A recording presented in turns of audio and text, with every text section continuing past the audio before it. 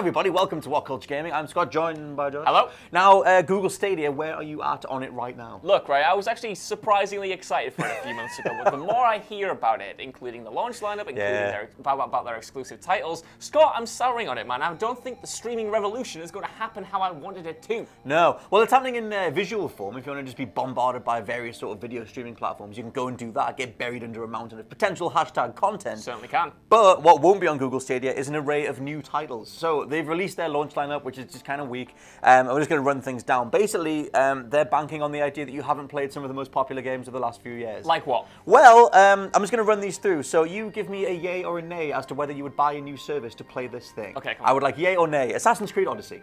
Yeah. Destiny 2, The Collection. absolutely not. Brand new game called Gylt. What's it about? I don't know. Yeah!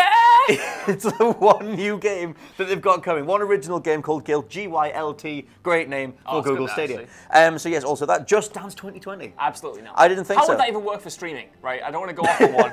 I don't want to be the animated, you know, guy on the internet who's yelling at things, I mean, but at be. the same time, how can you do Just Dance if you don't have a stable streaming connection? I'll tell you what we could do. That just completely messes up all the moves. We can be stressed out YouTube person who says the comment and then waits and goes, and then continues what, they're going to say because they're just that racked by what they need. It's, oh, just give us a minute.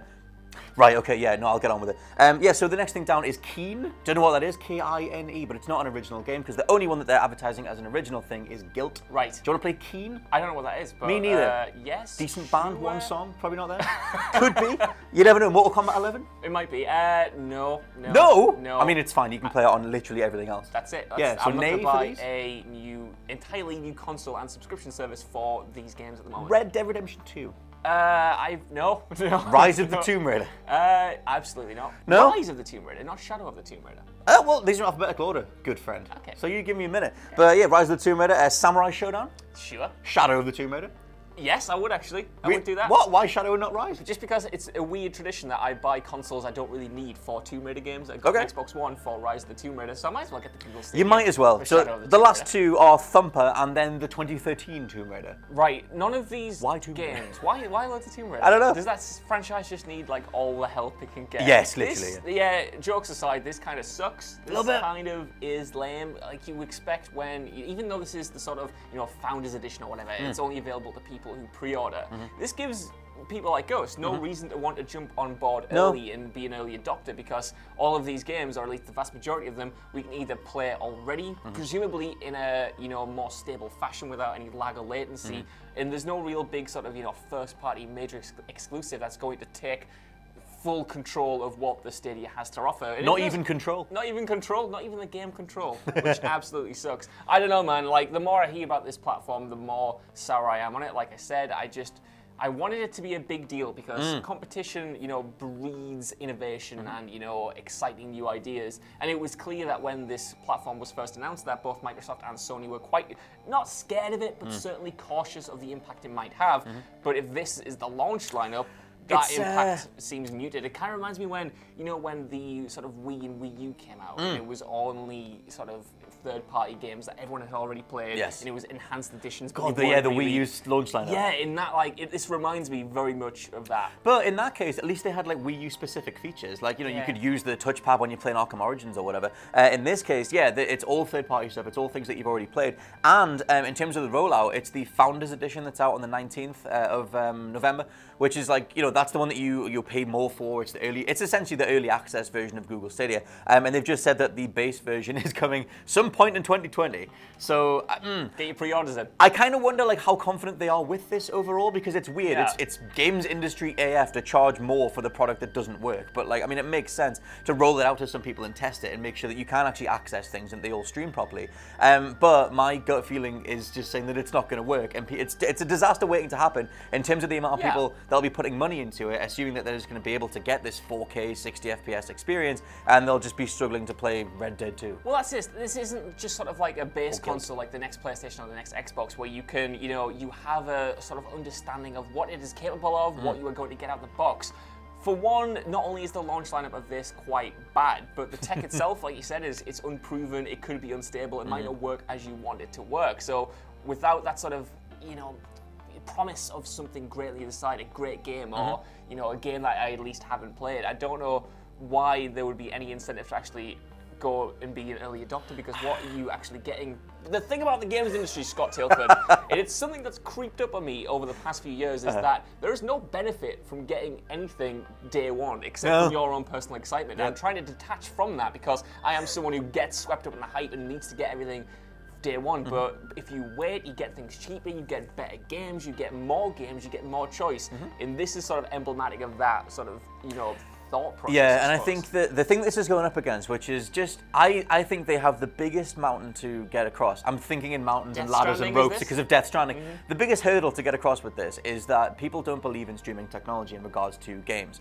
Um, and the min- most minuscule latency will completely wreck any experience. Think, like you said, you mentioned Just Dance. Anything that is more responsive heavy, any fighting games, things like Destiny 2, Mortal Kombat 11, like Yeah. they're games that are, they rely entirely on the most like you know pixel perfect um, responsiveness and if that is off by a millisecond like a fraction of a second you're never going to play this entire platform Yes. and it's just and i think that i just uh, the way that um, Xbox demoed their uh, xCloud technology, which um, Phil Spencer was talking quite a lot about, and Xbox seemed to be sort of deviating into that, and under the assumption that streaming is just going to become a big thing. Sony tried it with Gaikai back on the PS3, and it didn't really work. And even they kind of admitted defeat and just let you download games instead on PS Now, some of them anyway. Um, and I think that it's weird. The bigger companies, the more established companies, are kind of going like, okay, we can devote some R&D to this potential thing that might happen. Um, but the company that's trying to lead the way on it aren't really demoing it very well. People No. have proven that the original Google Stadia demo was faked. Like looking at the actual like lineup between what the dude was doing and what was on screen. Um, I mean, I mean, I believe the video that I saw saying it was fake. Maybe it isn't categorically fake. Google comes bursting through the windows, but I'm pretty sure it was. Um, and I think that you know, I believe, I more believe the Project xCloud stuff than them because at least Microsoft have let hundreds of journalists sit down and actually Yeah. play it and go, okay, this technology actually does work. But I don't believe it's going to work for all of our connections. I just don't think it's going to work. I also, you know, agree with you there. Yeah. But just to play devil's advocate, looking at Bring the it. Mm-hmm. games they have sort of announced, like you said, Just Dance, Mortal Kombat 11, and Thumper especially, these are games, like you said, which could go completely wrong if you have even, you know, the hint of actual lag because Mm-hmm. it'll just throw you off completely because they're all rhythm based or at least input based, like very precise. But choosing those three games especially. Yep. if this if this can succeed they could be great sort of examples of look the tech works you can play Oh, yeah. Thumper, which you know is, requires precise timing. You can have a an action, uh, a fighting game on the platform that Mm-hmm. you know works as well as any console or anything like that. And if they absolutely nail it with those games, maybe they're sort of the proof of concept. Maybe it's not about you know having the latest games or having Mm. you know interesting exclusives. Although that is obviously important. Mm-hmm. Maybe it's just about having a breadth of games and saying, look, all of this just works. The thing is, it like, what it can offer is is exemplary if it can work. The idea of just paying this monthly fee to get this 4K 60 FPS Xbox One X level. I mean, it was above the Xbox One X when they compared the potential statistics of it, uh, specifications of it. Um, is is amazing in theory, and I like the idea that they're hedging their bets and rolling the dice on something like, like you said, like Thumper, like Just Dance, things that are like so pinpoint precise. It's not a narrative-heavy thing. They're not launching with Gone Home or Firewatch, things that Yeah. can sort of be played with a, you know, with lag, quote unquote, um, as opposed to something that is going to require that level of like, you know, immediacy and responsiveness. Um, maybe that is them just trying to, you know, do something like a Pokemon Go style scenario where it's like, hey, look, it's just here, and the world freaks out because overnight you can just have a six, you can have a brand new console Mm-hmm. Yeah. overnight. Go pay this money.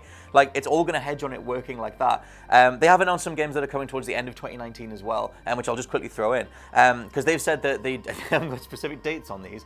Um, it's all very nebulous. It's all very like, well, we've got the founders' dates. We'll have your money right now. we don't know when the base version's coming, and we don't know when the rest of the games are coming. Um, but we do have a selection of titles that you've already, whatever, you've already played. Um, more stuff's coming, including Attack on Titan 2 Final Battle. Can't wait. I used to love Attack on Titan. It kind of fell apart. Uh, Borderlands 3, sure. Borderlands 3 is very solid, but you can go play it for way cheaper on a, well, I guess you can go play it on a more stable system elsewhere. Um, Darksiders Genesis, Dragon Ball Xenoverse 2, Farming Simulator 19, Final. Fantasy 15, Ghost Recon Breakpoint, lol. That doesn't even work on a stable system, never mind trying to put a streaming uh, element into it. Um, blah, blah, blah, Grid, Metro Exodus, uh, NBA 2K20 Rage 2, Trials Rising, and Wolfenstein Youngblood. All things that are already out Yep. and very, very cheap My, elsewhere. my major gripe here with this, Scott, I know on. I've taken nine minutes to, you know, finally get to it, but my major gripe with this is the Founders Edition, uh, the Founders Edition Yes. is out now, but the actual console 19th. for every, well, yes, yes, well, Yes, 19th for the Founders? 19th, yes, I mean, yeah, yeah, yeah. But uh, the console itself is coming uh, properly sometime next year. Mm-hmm, the issue is there are next-gen consoles also coming at the end of next year Yeah. as well. So the, the question Google is going to have is they need something killer to come out the Mm. gate with if they want to stop people from just saying, look, why would I pony up for this console right now that's unproven, doesn't have many games, Mm-hmm. when I know Sony's next console is coming out in a few months. I know Microsoft have a, you know, hopefully a killer lineup prepared for the Xbox Scarlett. Mm-hmm. Like there's only going to be a few months between them, and if if if the showing for these next gen machines are great when it comes to early next year, I just don't see how Google can even compete with that, or at least you know from the general console player market Mm-hmm. like me and you. Well, plus you said consoles. Like, I mean, you need a Chromecast for this thing to work, but like that's it. They don't have like a, a physical thing. But even then, um, like I said, the idea of like someone impulse buying, like, oh, I'm just gonna cough up the money and have the things beamed to my TV. You can't. Uh, not yet, anyway. Like maybe TVs will launch with Google, like with um, Google Stadia integration, but we're not there yet. Um, like I said, I think there's a whole bunch of infrastructural elements in regards to like overall network speeds and the accessibility of it on our side, on the on the uh, you know the average customer side. I just don't think the infrastructure is there for it, um, and I'll be amazed. And I don't think they're they're not backing it up by saying that. Well, just trust us. We've got all these deals in place. We've got all these different people on board, or whatever. They've kind of just gone. Well, here's a selection. Of, here's a selection of titles Yeah. from the last decade, and they're brilliant, brilliant games. But if you're the the gamble they want you to make is paying less on a potentially like unstable connection versus putting money down on an actual console and guaranteeing you'll actually be able to play the game. Yeah. So it's a weird gamble, and in, I I like it in terms of bringing games to the masses. Um, but I think that also sets so many people up for disappointment when X doesn't require doesn't result in the button actually pushing anything. You know what? Maybe it's going to be a sort of a, a grower, not a shower. You know, it might be like the PlayStation VR, which I Mm. love. That launched at a really high price point. They were difficult to get. There weren't many games out there, and people, even us included, were No Man's Sky? "Uh, Eh? now it's fine. Now it's good. That I mean, wasn't it's, there at it's launch. good now. Aye, Yeah. it's fine now. But what, I, what, I, what I meant was, you know, at launch, there were people, even me, who, who loves the machine now, Mm-hmm. were wondering, is this going to be sort of a failed experiment? Are Sony even going to support it? Obviously, they did. Mm. And maybe we're in a similar situation like that with Google Stadia. Maybe it's not trying to compete with the likes of Microsoft and Sony Mm-hmm. on the same level as a console right now. Maybe they're just sort of setting the groundwork and get people interested, get these early adopters in, get the word of mouth spread, being like, you know what, Google Stadia is actually really Mm. good. And then by the time people get around to buying it, they might have actual games in it. That's Maybe. The, that's the pipe dream hope. That would kind of make sense in terms of building excitement for next year's actual release. Google have a track record of abandoning things if they don't work immediately, something Yes, like true. Google Plus or whatever. Um, so we'll see. But let us know what you think down in the comments below of the idea of Google Stadia now that you know what games you'll be playing, if you were going to invest in the Founders Edition or just wait until next year and hoping that it comes together. For now, though, I've been Scott from WhatCulture.com. I mean, Josh from WhatCulture.com. I'll catch you next time. Bye. Bye.